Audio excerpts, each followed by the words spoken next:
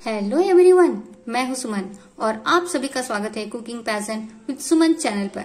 और आज मैं बनाने जा रही हूँ बिना भिगोए दाल इंस्टेंट बनाए साउथ इंडियन स्टाइल मेदू बड़ी। और इसे बनाने में ज़्यादा समय नहीं, पाँच से दस मिनट का समय लगता है और किसी तरह का कोई झंझट, कोई परेशानी नहीं है।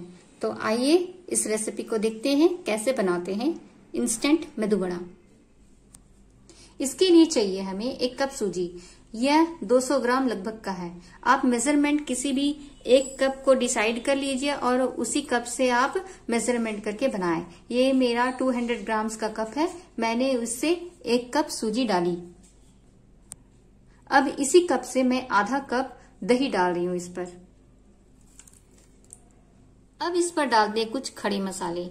जैसे ये है हरी मिर्ची। ये दो कटी हुई हरी मिर्ची है। अब इस पर डालते हैं एक छोटा साइज़ का प्याज, बारीक कटा हुआ प्याज। ताकि इस पे क्रंचीनेस आ सके। ये टोटली ऑप्शनल है। आप चाहे तो डाले, ना चाहे तो न डाले।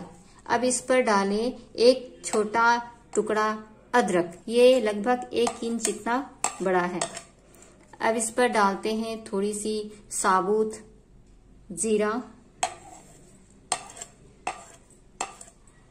और ये है काली मिर्च।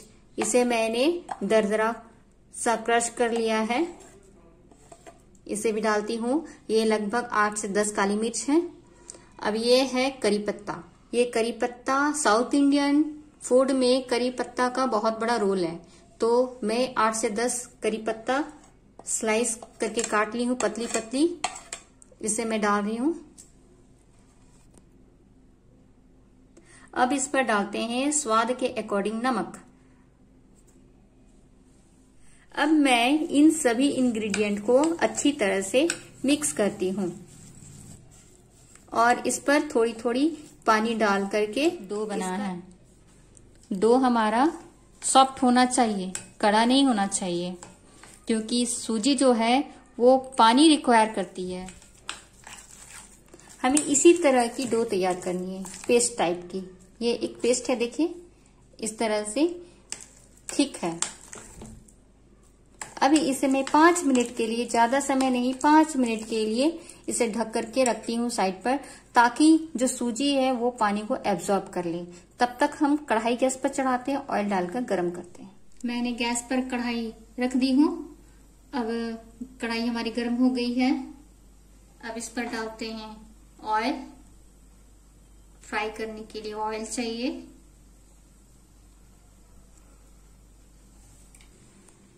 हमारी तेल गर्म हो रही है। अभी इस पर डालते हैं वन फोर्थ टेबल सोडा इस पर डालती हूँ। मिक्स करती हूँ। इसे अच्छी तरह से मिक्स करना है। एकदम फ्लफी टाइप में। ये देखिए, हमारी डो फ्लफी हो गई है। मैंने इसे अच्छे से मिक्स कर लिया है। अब हमारी तेल भी गर्म हो गई है।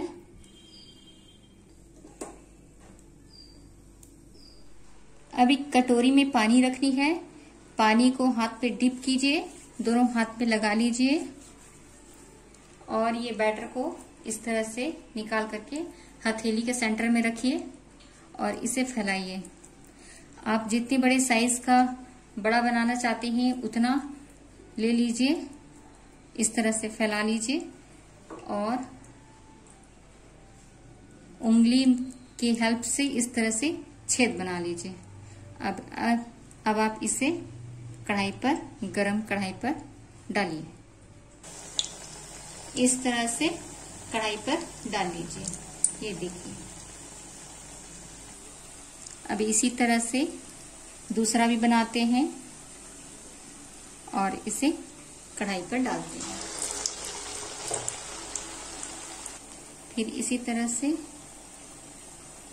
हाथ में बैटर लेकर के, उंगली की मदद से छेद करके, अब इसे कढ़ाई में हल्के से डालिए धीरे धीरे करके। और एक बार में ज़्यादा ज़्यादा बड़े मत डालिए। चार से पाँच इतना सही है। इससे ज़्यादा नहीं डालिए। ये देखिए, हमारी बड़े तैयार हो गए फ्राई होकर के।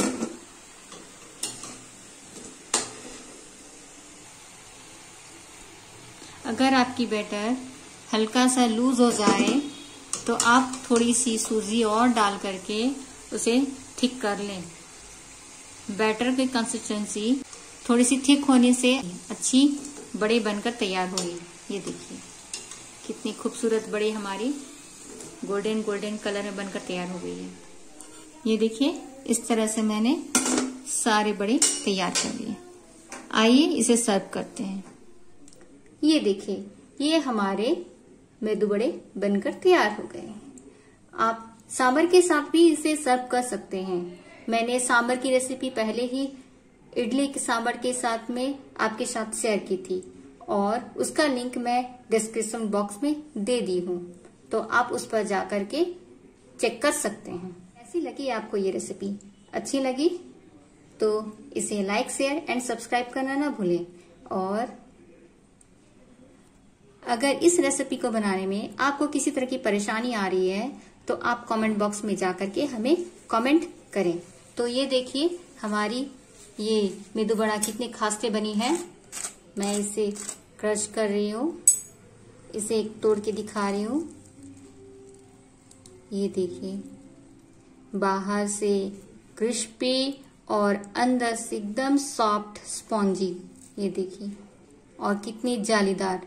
बहुत अच्छे से बनकर हमारी मेदू बड़ा बनकर तैयार हुई है। तो आप इसे अपने घर पर ज़रूर ट्राई करें और इस बारिश के मौसम में मेदू बड़ा खा करके एंजॉय कीजिए। And thank you for watching this video Jai Hind